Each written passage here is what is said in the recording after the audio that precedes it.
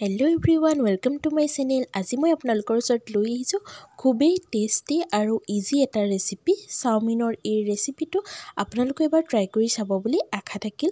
বহুত বেছিয়ে টেষ্টি লাগে আৰু সকলোৱে চাওমিন খাই নিশ্চয়কৈ ভাল পায় নহয় জানো? মই এই ৰেচিপিটো খুব ইজিকৈ আপোনালোকৰ লগত শ্বেয়াৰ কৰিছোঁ। প্ৰথমে মই চাওমিন লৈ লৈছোঁ দুপেকেট লৈছোঁ। আপোনালোকে নিজৰ ইচ্ছা অনুসৰি কম বেছি কৰিব পাৰে চাওমিনটো। আৰু নিজৰ মেম্বাৰৰ ওপৰত ডিপেণ্ড কৰি লৈ ল'ব লগতে মই পিঁয়াজ কাটি লৈছোঁ আৰু পিঁয়াজবিলাক এইদৰে কাটিছোঁ এডোখৰ এডোখৰকৈ। নিশ্চয় আপোনালোকে লক্ষ্য কৰিছে।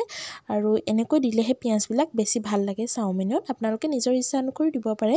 আৰু মই অলপ গাজৰ এইদৰে কাটি লৈছোঁ। আপোনালোকে যিকোনো শ্বেপ দিব পাৰে। এইদৰে দিলে মানে বেছি ভাল দেখায় আৰু খায়ো ভাল লাগে। আৰু গাজৰ আপোনালোকে নাথাকিলে স্কিপ কৰিব পাৰে। কোনো কথা নাই। দিলে মানে খাবলৈ বেছি টেষ্টি লাগে কাৰণে মই দি দিছোঁ। আৰু অলপ পানী গৰম কৰিছোঁ। লগতে অকণমান নিমখ আৰু অলপ ৰিফাইন তেল ইয়াতে দি দিছোঁ।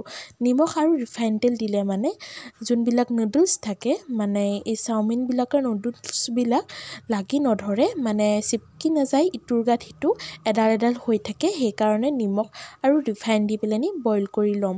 আৰু এইখিনি এইট্টি পাৰ্চেণ্টহে বইল কৰিব লাগিব। হাণ্ড্ৰেড পাৰ্চেণ্ট বইল কৰি দিলে মানে খাবলৈ ভাল নহ'ব যিহেতুকে আমি আকৌ ট'ষ্ট কৰিবলৈ থাকেই। সেইটো কাৰণে এয়া নিশ্চয় লক্ষ্য কৰিছে। কমেও পাঁচ মিনিটমান গেছৰ ফ্লেমটো মিডিয়ামত ৰাখি পেলাই এইখিনি বইল কৰি ল'লোঁ। আৰু অকণমান আপোনালোকে আঙুলিটোৱে পিটিকি চাব আৰু হৈ যোৱা যেন লাগিলে মানে এইদৰে নমাই থৈ দিব।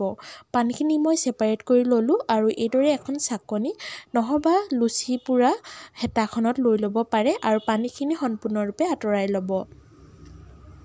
পানী থাকিলে মানে বেয়া হৈ যাব আৰু এইদৰে মই অকণমান ঠাণ্ডা হ'বলৈ দিম অকণমান ৰিফাইন তেল ইয়াতে মই দি দিম আৰু ৰিফাইন তেল অলপ সানি থ'লে মানে আপোনালোকে যেতিয়াই বনাই বনাই খাব পাৰিব কোন লাগি নধৰে নুডলছবিলাক সেইকাৰণে মই ইয়াতে ৰিফাইন তেল অলপ সানি দিছোঁ।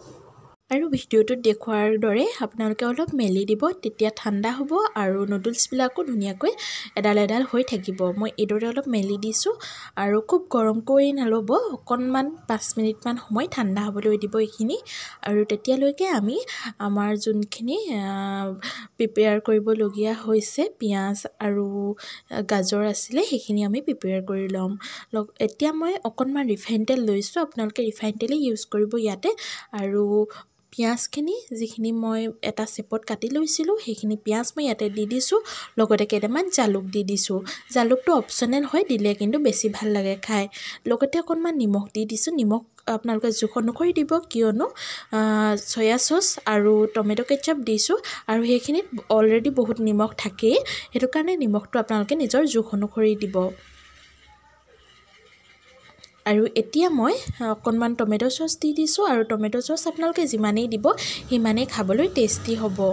আৰু এয়া মই দি দিছোঁ আৰু ধুনীয়াকৈ এইখিনি সিজিবলৈ দিম। তাৰপাছত আমি যোনখিনি নুডলছ বনাই থৈছোঁ সেইখিনি ইয়াতে এড কৰি দিম। এয়া গেছৰ ফ্লেমটো ইয়াতে মিডিয়ামত ৰাখিব বেছি হাই কৰি দিলে মানেও পিঁয়াজখিনি দেৰি যোৱাৰ চান্স থাকে। লগতে আমি যোনখিনি গাজৰ কাটি থৈছিলোঁ সেইখিনি ইয়াতে এড কৰি দিছোঁ। আৰু এইখিনি অকণমান কমেও পাঁচ মিনিটমান সময় এইদৰে ভাজি ল'ম। তেতিয়া বেছি ভাল হ'ব আৰু চচখিনি অকণমান ভাজি ল'লে বেছি ভাল হয়। আৰু এইদৰে মই লৰাই থাকিম। এয়া দেখিছে নিশ্চয় প্ৰায় হৈ গৈছে আৰু এতিয়া মই নুডলছখিনি ইয়াতে এড কৰি দিম। আৰু যিমানেই পাৰে সিমানেই টচ কৰিব যিমানেই পাৰে সিমানেই মিক্স কৰিব। মিক্স কৰিলে মানেহে খাবলৈ বেছি ভাল হয় আৰু কালাৰটো ধুনীয়া আহে। আৰু মই এতিয়া দুখন চামুচ বা যি লয় আৰু ল'ব পাৰে এইদৰে আপোনালোকে মিক্স কৰিব পাৰে নহ'লে ইভাগেও টচ কৰিব পাৰে। কিন্তু এইভাগে কৰিলে বেছি সুবিধা হয় যিসকল বিগিনাৰ্ছ হয় তেওঁলোকে এইদৰে কৰিব। আৰু যিমান পাৰে সিমান ধুনীয়াকৈ নুডলছবিলাক টচ কৰি দিব। আৰু এটা কথা লক্ষ্য কৰিব যাতে নুডলছবিলাক ভাগি নাযায় মাজতে আৰু এইদৰে মই গোটেইখিনি নুডলছ বনাই ল'লোঁ। আৰু গেছৰ ফ্লেমটো ইয়াতে মিডিয়ামতে ৰাখিব বেছি হাই কৰি নিদিব আৰু বেছি ল'টো নাৰাখিব। আৰু এয়া আমাৰ প্ৰায় হৈ গৈছে। চাওমিন বনোৱা আপোনালোকে এইদৰে খুব চিম্পল ৰেচিপি এটা বনাব পাৰে খাবলৈ বহুতেই বেছি টেষ্টি হয়। ষ্ট্ৰীট ফুডবিলাক এতিয়া যিহেতুকে খোৱাটো স্বাস্থ্যৰ পক্ষে ভাল নহয় তো আপোনালোকে ঘৰতেই এইদৰে যদি ষ্ট্ৰীট ফুড মিছ কৰিছে ঘৰতেই বনাই খাই চাব পাৰে। আৰু কেনেকুৱা লাগিলে মোক জনাব শেষত মই অলপ পিঁয়াজো এড কৰি দিছোঁ আৰু ধুনীয়াকৈ মিহলাই দিছোঁ। আপোনালোকে কেঁচা পিঁয়াজ নিদিলেও হয় কিন্তু দিলেও মানে খাই ভালেই লাগে। আৰু এইদৰে মই অকণমান টচ কৰি দিম শেষত আৰু কালাৰটো কিমান ধুনীয়া আহিছে আপোনালোকে নিশ্চয়কৈ লক্ষ্য কৰিছে।